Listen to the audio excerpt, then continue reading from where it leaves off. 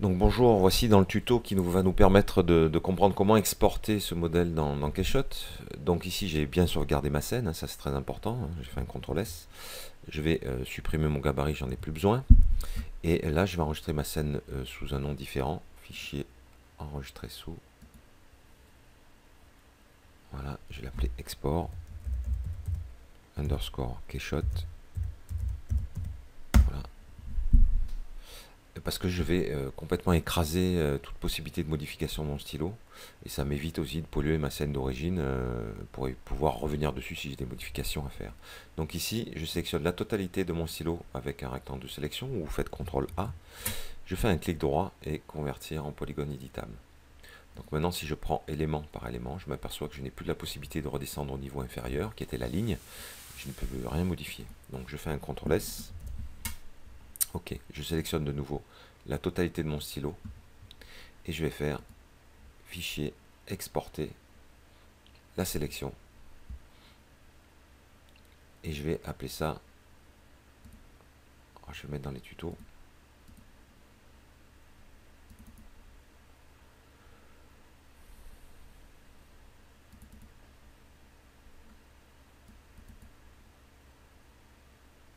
Je vais la mettre ici appeler stylo je fais un export FBX, comme on a fait pour les objets précédemment, euh, la bouteille et la, canette de soda. Ici, euh, ce qui est intéressant, c'est de bien euh, vérifier certaines choses. Donc ici, on n'a pas de texture particulière. Donc dans Incorporer support, puisque toutes les textures vont être créées, on n'a pas d'étiquette, on n'a pas de... Toutes les textures vont être créées dans Keyshot, donc il n'y a pas de souci. géométrie ici, on va activer les groupes de lissage les lissages rapides, donc euh, ça, on n'a pas besoin. Ben, on fait OK tout simplement. Les unités, on va laisser euh, automatique. Vous pouvez mettre en centimètres si vous avez travaillé à l'échelle. OK. Une fois que c'est fait, on bascule dans Keyshot. Voilà, une scène vierge. Vous faites fichier, importer. Et vous allez chercher ici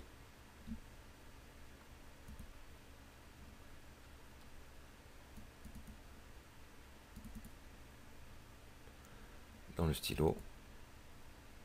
Le stylo FBX que vous allez ouvrir. Là, il vous propose centrer la géométrie. Donc, vous laissez par défaut. Vous touchez à rien. Euh, ok, importer. Et là, il va vous placer le stylo sur le sol. Voilà le stylo ici, qui n'est pas texturé.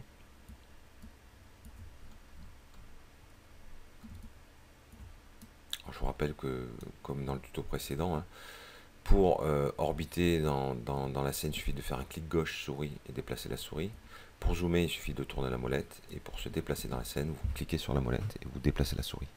Donc voilà le stylo ici.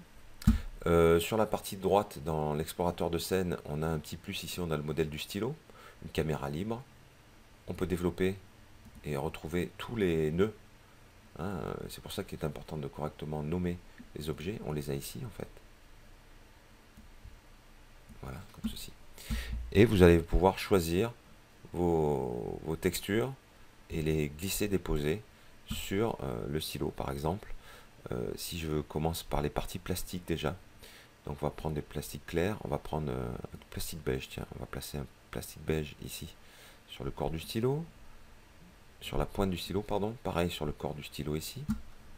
Alors, vous avez la possibilité d'afficher ou de masquer des éléments, donc le corps, je vais le masquer, Qu'est-ce qu'on a d'autre euh, Le capuchon, je vais le garder. La pointe du stylo, on va le masquer. Comme ça, on accède à la cartouche d'encre. Ici, je vais chercher un plastique. Euh, tiens, on va essayer de dire qu'il y a de l'encre comme ça dedans. Voilà, c'est pas mal. Et je vais prendre un plastique un peu comme ça, voilà. Qu'est-ce qu'on a d'autre? Plastique brillant, plastique mat ou satiné. Voilà, je prends un plastique bleu satiné ici pour mettre sur le bouchon.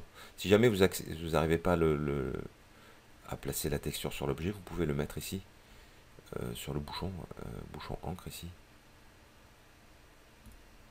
Voilà, il vient appliquer la texture dessus. Ensuite, euh, pour la mine du stylo, Alors on va zoomer un petit peu sur la mine du stylo. On rappelait qu'on avait la, bille à l'extrémité de la mine.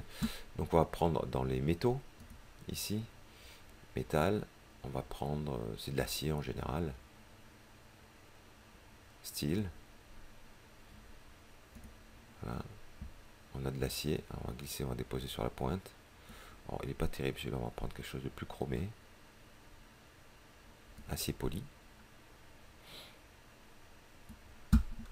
Ah, c'est pas encore euh, extraordinaire. Donc ce qu'on va faire, c'est qu'on va aller chercher un autre matériau. Hein. Quelque chose qui...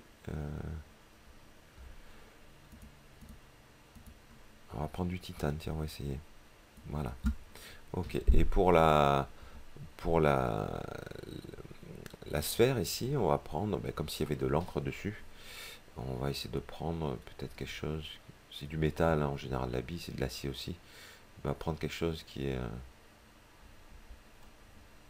il y a du noir en fait, voilà, comme ça on verra bien la, la bille. Voilà, ok. Pour le grip, on va chercher un plastique. Mais euh, on va essayer de trouver un truc soft, voilà. Ça c'est pas mal. Plastique soft, ça fait un peu caoutchouteux, il y a un peu de translucidité dedans. Ça semble pas mal. Et pour euh, l'arrière, on va prendre euh, on va prendre du plastique euh, plus brillant, voilà comme ceci, qu'on va appliquer et bien sûr les deux éléments. Hein. Alors moi je prends ces couleurs, mais à vous de personnaliser les stylos. Hein. Vous pouvez combiner plusieurs couleurs différentes. Voilà, par exemple, je vais le faire pour l'arrière. Je vais mettre du, je vais, je vais essayer de trouver une autre couleur. Je vais rester dans les plastiques mettre du jaune, tiens. Voilà. Si je raffiche le corps du stylo et la pointe du stylo, voilà, on obtient quelque chose de tout à fait réaliste. Voilà. Alors je vous rappelle que il y aura alors, euh, combiner euh, les différents éléments, n'ayez pas peur de, tester euh, un peu des textures qui peuvent passer, qui peuvent être sympas. Hein. On a, si je prends ici dans liquide, peut être marrant, liquide, ici, voilà, j'ai du jus d'orange. Alors, gardez des matériaux transparents pour voir l'intérieur quand même, mais vous pouvez vous lâcher sur l'application de ce type de matériaux sur d'autres parties du stylo, ce qui peut être intéressant hein, d'obtenir des rendus. Alors, il manque le ressort dans ce stylo. Euh, ça fera l'objet d'un tuto euh, séparé pour créer le ressort du stylo euh, qu'on va pouvoir ramener par la suite dans cette scène sans jamais toucher le reste en fait. Voilà, merci beaucoup.